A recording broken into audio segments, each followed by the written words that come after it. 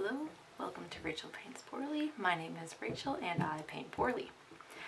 I am going to be doing some random funny icebreaker questions that I found on the internet courtesy of museumhack.com. So let's get started. Just a little icebreaker and I'm also going to be coloring while I answer the questions using my kids coloring book. So yeah, and some crayons, just regular old Silly Scents Crayola. Okay, let's see. Mm -mm -mm. What was the worst haircut you ever had? The worst haircut I ever had was when I was a little kid and my mom used to cut her hair and my hair was long and she would cut bangs for us.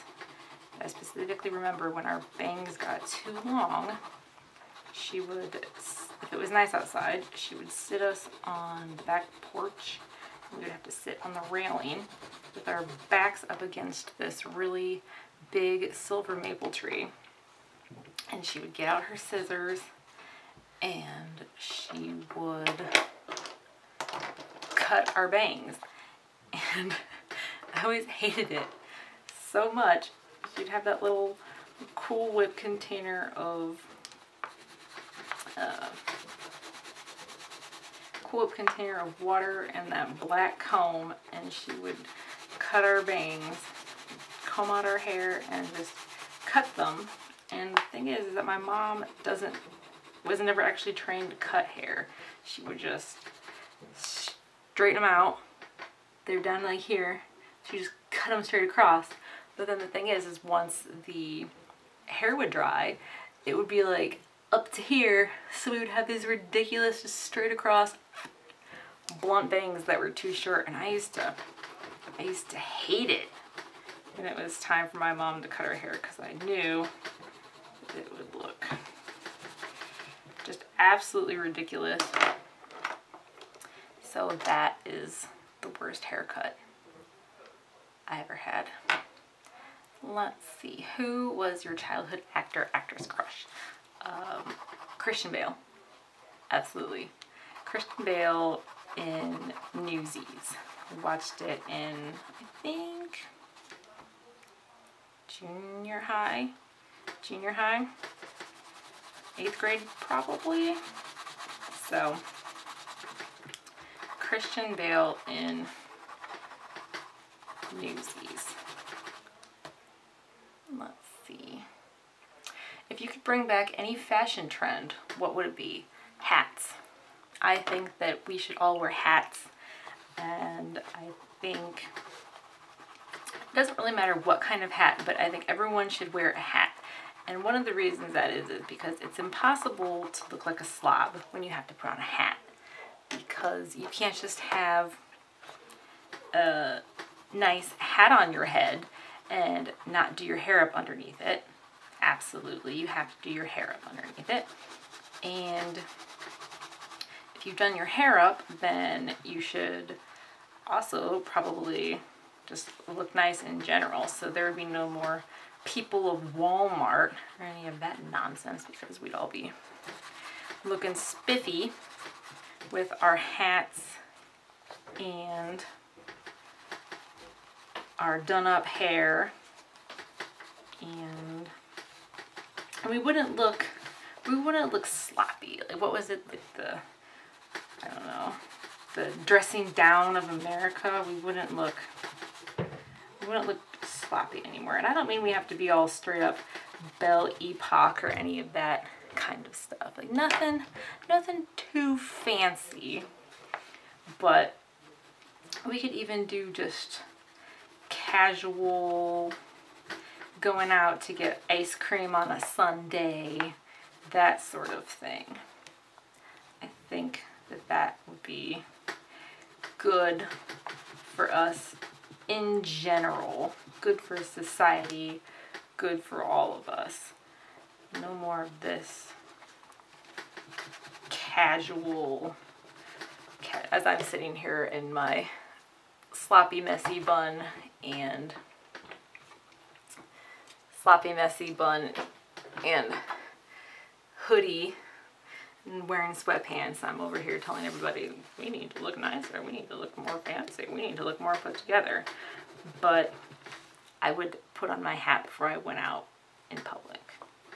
Just have to take me at my word. And then another thing is, is you you walk out wearing a hat, everybody looks at you because you're making a statement. So, but if everybody was wearing a hat, then nobody would look at you unless they were going to be like, wow, where did you get that hat? So that's what I would bring back. Mm-mm-mm. Okay, what did you name your first car and does your current car have a name? Okay, so my first car is my current car. I bought this car when I was 19 back in 2009 and I still have it in 2020. The car is a 2007 Chevy Cobalt and I still have it. And at the time I named it Jack after Jack Kelly, who is Christian Bale's character in Newsies. And that was its name. But then after I got married, my oldest son, his name is Jack. So can't really call my car the same name as I called my son. It doesn't really fly. So now it's called the tin can because it's old and it's starting to rust out, but guess that's from point A to point B, so I'm not complaining. And it's still overall a decent little car. So that's my car. Excuse me, kitty.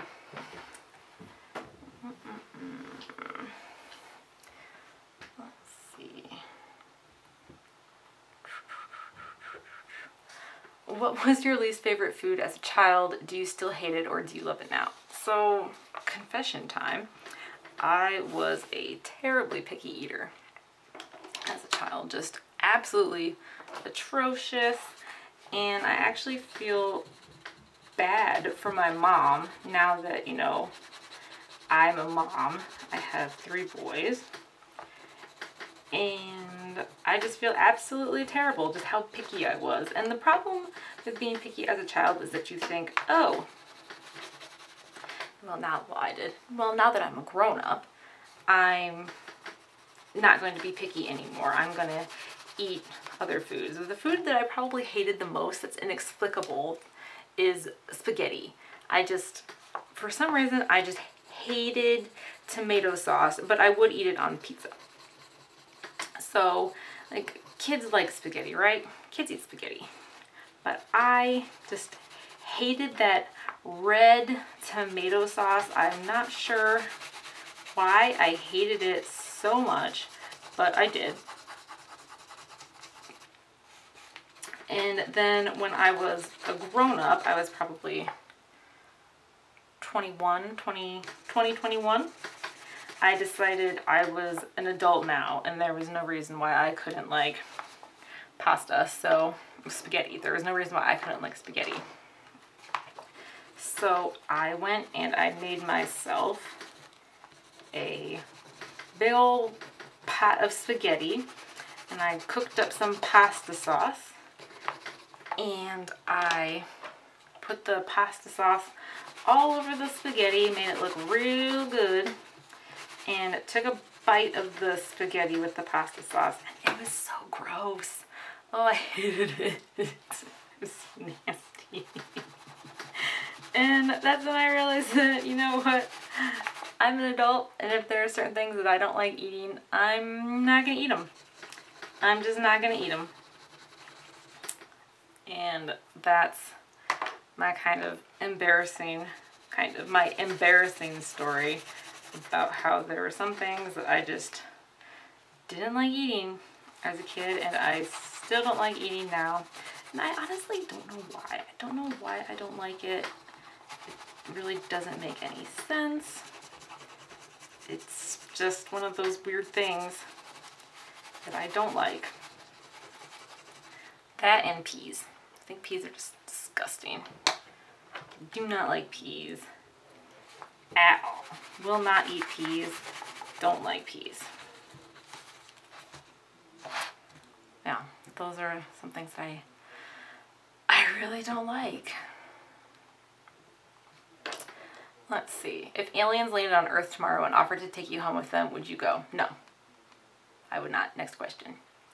60s, 70s, 80s, and 90s. Which decade do you love the most and why? Okay, so I wasn't born in the 60s or 70s. I was born in October of 1989. So technically, I squeaked in by the hair on my chinny chin chin, and I am technically an 80s baby, but naturally I don't remember any of it because I was a baby.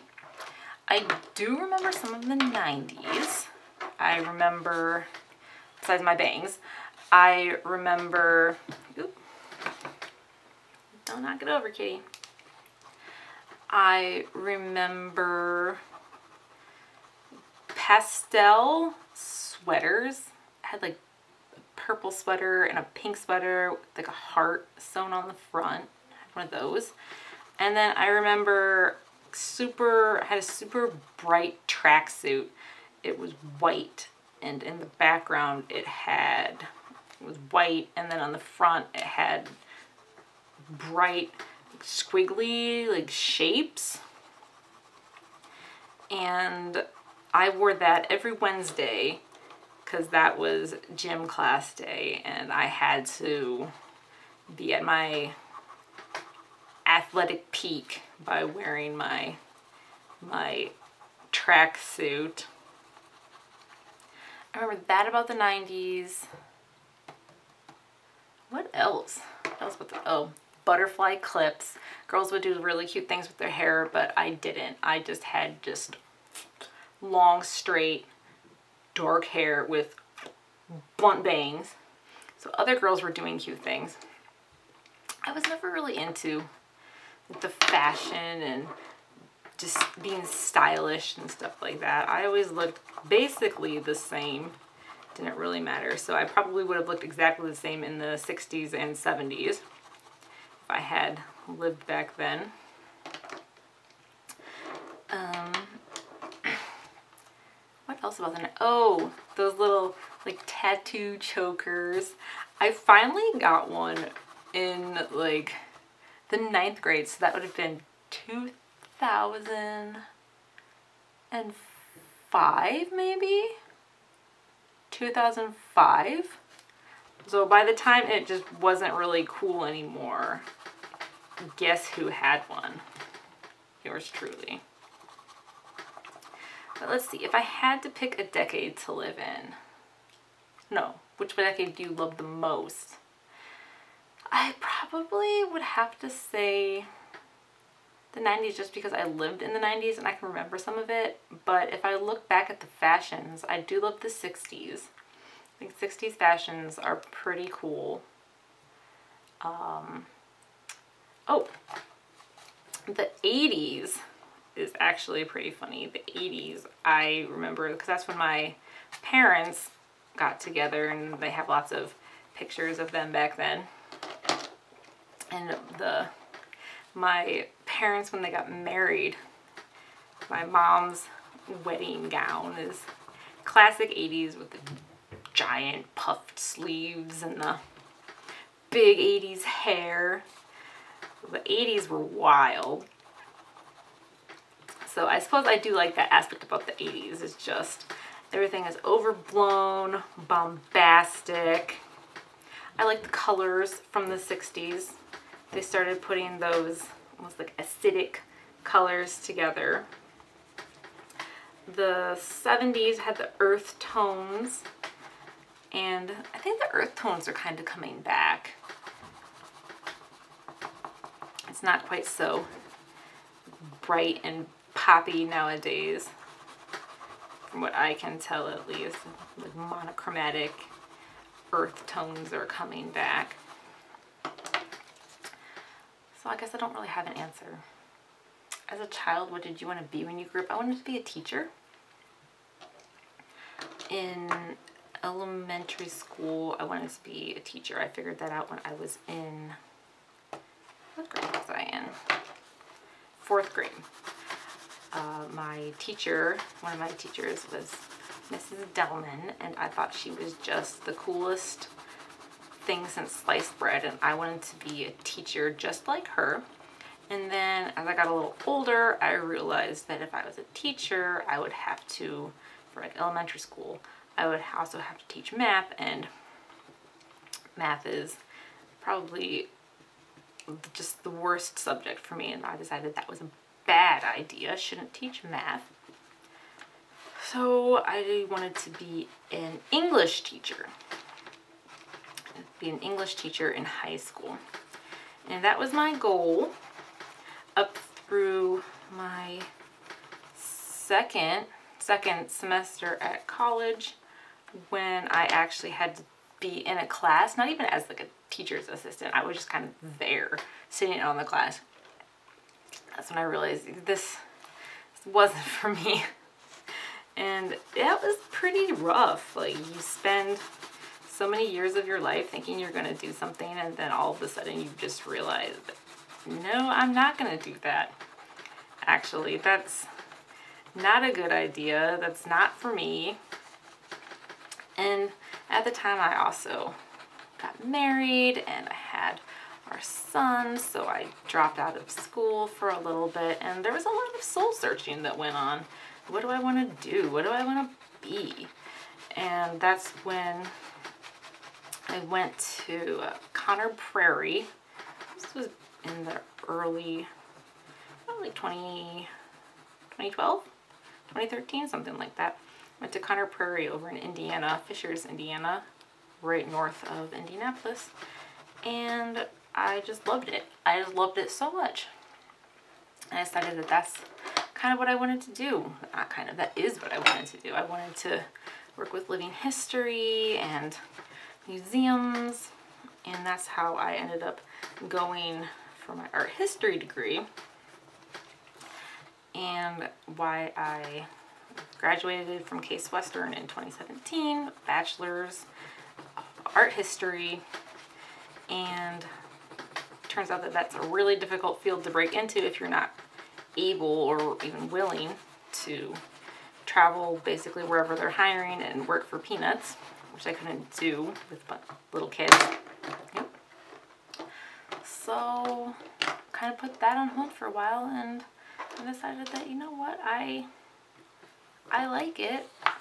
I really enjoyed researching and I enjoyed writing and going through all of those books and just putting out what I, I learned for other people to enjoy. And so that's how we that's how we got started on Rachel Paints Poorly. So that is my spiel. That is how this all got started. And hopefully you enjoyed listening and will enjoy learning about art and art history and artists and watching more of my poor drawings and illustrations as we muddle through the masters together. Thanks for listening and I'll see you next time.